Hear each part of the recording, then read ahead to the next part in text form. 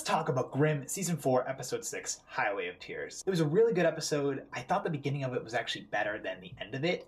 You know, the beginning of it, we have Monroe and Rosalie, everyone's at their house, and Juliette says to Nick, You need your powers back, we gotta do it. So they go and call Elizabeth, and then Elizabeth prepares the potion, and Juliette breathes it in three times. There was a funny little line from, from Elizabeth where she said, If you breathe it in more than three times, you're going to become Adalind forever. And they're like, No, we don't want that. So that was cool. So she becomes Adalind, and then Nick and Juliette, uh, Juliette Adalind, they have sex, and then you know, eventually Nick's powers come back because it does work. Juliette has pains uh, after they do it, but the pains are probably from the effects of the potion turning her back.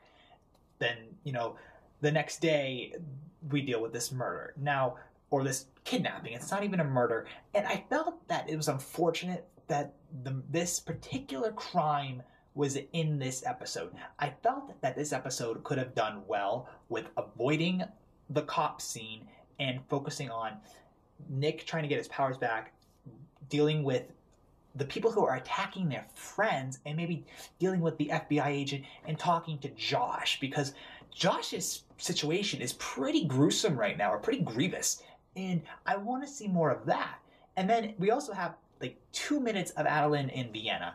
And Claire Coffee is a great actress, so I'm glad that she was able to woge or transform into Juliette or have Juliette transform into Adalind so we could see a bit more screen time of her.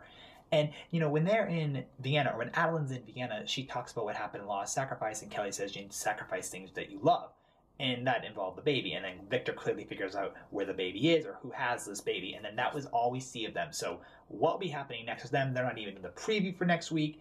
Uh, what do you guys feel is going to be going on with Adalind? I want her back in Portland, and I want her to find her baby.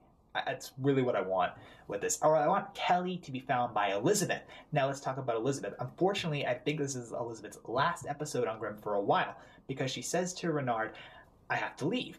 And it's unfortunate that she has to go. Elizabeth is a really cool per- character and a really cool vessel, and her purpose, it seems, was just to get Nick's powers back. And now that there's six episodes in, his powers are back. And then Renard, and Renard's two scenes were him at his house talking to his mom, and then him and his mom are talking about the hat, the witch's hat that Adalind used to breathe in to transform Juliette, and vice versa for Juliette. And it's not bothersome to me, but in Once Upon a Time, there's a big thing going on with the sorcerer's hat, and now we have a witch's hat in Grimm.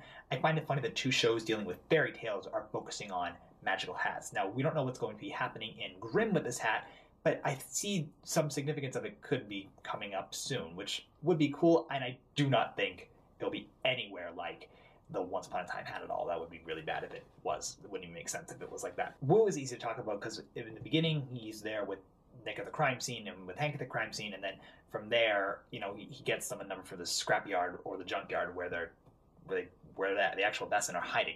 Unfortunately, like I said, I don't think this episode really needed this murder, and I think it could have been really good if they had a couple of people get you know kidnapped or whatnot. I just wasn't that into the murder or the crime going on in the episode. It felt kind of filler to me, and this is the first time in Grimm I've ever felt something was filler. I don't really see that in this show too often. But I think this this crime was needed just to get his powers back, and now that his powers are back, we're good. So now we have a lot more to go off of. I think the next couple episodes are really going to go by fast and they're going to be really interesting and jam packed full of stuff because now we don't have to rely on Trubel and Nick to be kind of like, I don't know what I'm doing. So it was a good episode. Uh, you know, we dealt we dealt with Josh, we dealt a little bit with the FBI, we dealt with everyone did something, everyone was there. I'm curious to what's going to be happening next. Like I said, I really liked it. The review isn't too too long because honestly, Nick's powers back, and there was that really boring crime. I, I didn't find it interesting at all one thing I do say is I love the writing when it comes down to just having the characters be friendly with each other. They definitely are friends, and you can really see it. And I think it's really great writing. Like Bitsie Touche, uh, I might be saying her name wrong. I'm really sorry, but Bitsie and Bree Turner, just when they're interacting together, and then when they throw in Trubel into it, like it's so funny. And then Hank and Nick and Monroe all together, like those are really like good little corpse and uh, quip bits that I love seeing. I just felt that unfortunately the, the crime was not needed. But Nick's power's back, so we have more to come next week. But next week's a Christmas episode on Grimm, and we already had that creepy Santa Claus episode in season two. So what else could we get with creepy, creepy elves, trolls? I don't know. Let me know in the comments below what you guys thought of the episode. I thought it was a good episode. It was an amazing episode. Nick's powers are back, which does make it good. Crime, I've already talked about it ten times. I'm not going to get into it anymore. So let me know what you thought about it, and I'll be back next Friday for another Grimm review, and I'll be here on Sunday for a Once Upon a Time and Walking Dead review. So if you guys are fans of those, make sure to tune in for them.